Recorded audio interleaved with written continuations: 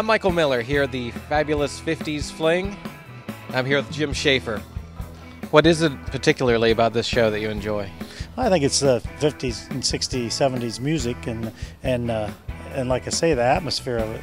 I really enjoyed the music, and, uh, and there is more cars than what you see at a lot of shows, and the shopping. From our area, it's totally different. You know, I like the hilly countryside. I like the the ride down's fantastic.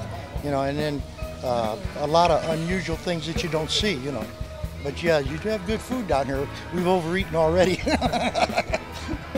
it's just fantastic. Prices are of, of, food is the way it was back in the 50s.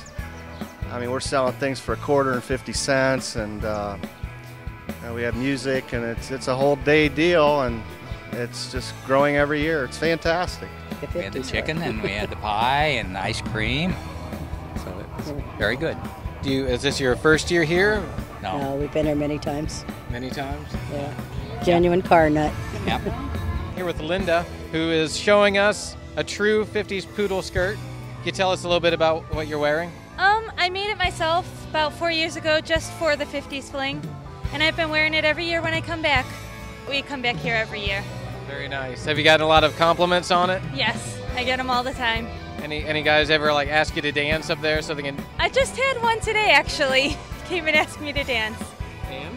I accepted and went and danced. Cool. Are you here? Are you from Sugarcreek? I'm from Cleveland, Ohio. Jerry, can you tell me a little bit about your car back here? That's 1932 Ford. The car was originally built back in the early 60s.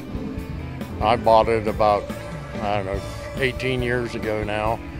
And I've had it all redone like this once. To, the following year, the first time I took it out, I hit a deer with it and wrecked it. And, and took three years and about $28,000 to get it back on the road again. So.